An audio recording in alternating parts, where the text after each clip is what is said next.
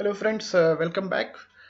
Today we will explore one more micro niche. Uh, this is uh, again uh, not ultra micro niche. Uh, relatively, this is a niche uh, that's been popular, but not many people show interest or write lot of in-depth content in this particular segment because they feel like this is not easy for everybody to write the content but again um, i don't think uh, that's uh, uh, true. If you actually put your uh, serious efforts and do proper research you should be able to generate good quality content in this particular niche as well.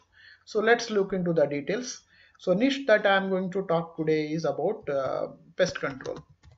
So this is um very uh, important segment especially in western countries especially in us because the there will there are different types of insects and birds and uh, small um, uh, animals that they uh, struggle with and uh, so they they they and they do lot of times uh, uh, the self basically DIY do it yourself kind of a home pest control processes at home. So that's why uh, this particular uh, niche is, has very good potential because if you write a good um, how to uh, guides or how to articles there will be a lot of uh, uh, readers for that particular kind of a content if you can genuinely generate a quality content. And then you can always recommend a good product through affiliates as well only catch here is you need to have a, that subject matter uh, expertise. You just cannot um, write at surface level just like you write for any electronics goods for electronic goods you just look into the amazon and look into specification features and you write some content. But uh, that type of content may not really um, uh, go well with this particular segment. Uh, that's why not many people actually uh, write a lot of quality content for this particular micro niche that's why if you actually pick it up and if you can do uh, enough of a research uh, put your energies and then come up with a quality content there is an excellent opportunity for this. So uh, let's do our five factor validation typically what we do for any of the micro niche and check it out how good this is. So let's start with first one is we look for the um, difficulty or in other words we, all, we can also look at competition right so just check it out. Um, for this particular um, keyword straight away it says you can see here right? Search volume is 100k plus and the pest control word itself is just 13 is the difficulty.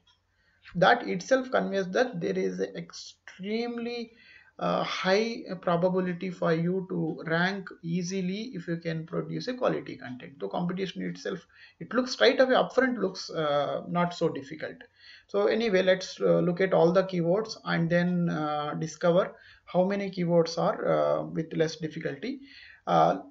This is the label. Kd stands for keyword difficulty. I always suggest for the newbies uh, filter the keywords with um, difficulty less than 20 uh, lower the keyword difficulty easier for you to rank. Higher the keyword difficulty means higher more there is a more competition. So always look for the keyword difficulty less than or equal to 20 if you are starting a new blog now.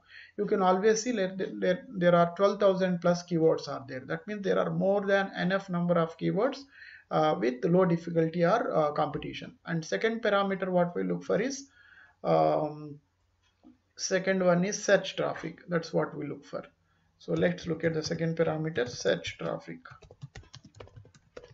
so let's look at uh, how are the search traffic numbers for the same uh, for this particular comp low competitive keywords you can see direct pest control has about a 115k but then look at here uh, pest control ORs, active pest control, fox pest control. The key keyword difficulties are not even 10. If you see entire, if you scroll down entire the set of this page, you can even find uh, the keyword difficult the keywords with the difficulty zero but all the, the volumes if you see more than 1000 this is a very good volume and uh, very low um, difficulty. Uh, so the second parameter is also true. We are good with that. Third one is scope for content. So what we need to look for is um, we should always look for uh, the keywords that are uh, low in competition low difficulty but also have decent uh, search volumes so this label volume uh, uh, conveys the number of times this particular keyword has been searched on uh, per month on an average. For example, um, Clark Pest Control has been searched for about 8.2k. Fox Pest, Pest Control has been searched for about 8.5k times per month on an average. That's what volume is or uh, search traffic is uh, about. Now what we normally do is uh, we already filtered the keywords with uh, difficulty less than or equal 20. Let's also filter the keywords with the volume minimum 500. Let's pick it up and let's see how many keywords are there. So here you can see more than 1000 keywords are there with difficulty less than 20 and monthly search volume more than 500 so all these are topics are excellent potential uh, topics for you to write the content. Even if you take out there will be some of the branded uh, keywords will be there here. Some of the company keywords and all will come. I believe probably um, this uh, uh, Florida pest control, maybe some company will be there, so you can't directly give a head on to that. Dodson pest control should be should be a, a, company. So even if you take out some of those things, still you can easily easily find about more than 500 topics uh, related to this particular um, uh, micro niche. So uh, the third validation is also through scope for content is also be verified and fourth one important one what we look for is a reference website is there any uh, website as a proof of concept that uh, is performing well built on this particular micro niche but domain rating is low? That means it is not at uh, established in the uh, search world. That's what it is. So let's um, uh, check it out. I did some analysis and i discovered this particular website. Uh, it's a pestsamurai.com okay. Very simple site. You can see here. Simple wordpress theme. No jazzy designs and all those things. Plain good content and uh, let us see how this is performing. Copy it and then go here go to site explorer and uh, so key in the domain and let's look into the details. So one attribute that we normally look for when we are analyzing the uh, domain any of the domain is dr dr stands for domain rating. Okay don't be surprised dr is zero for this particular website. So uh, dr stands for if you can see, read out the definition domain rating shows basically the how the strength of that particular website. So if it is for example simple example you pick up uh, microsoft amazon or google uh, any of these websites go and search for dr you will find more than 90 near 100 so that means as and when you the site become becomes branded and more established uh, then the DR will keep on increasing. So if you are starting a site tomorrow, your DR will start with zero or no no DR basically. After few days, you will gain uh, zero or zero point something.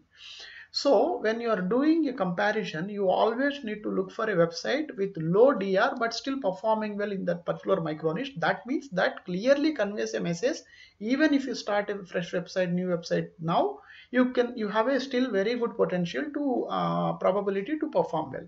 Now if you see dr 0 that means this is as good as no um, no branding is been done not established. Still look at the the kind of traffic it is uh, attracting.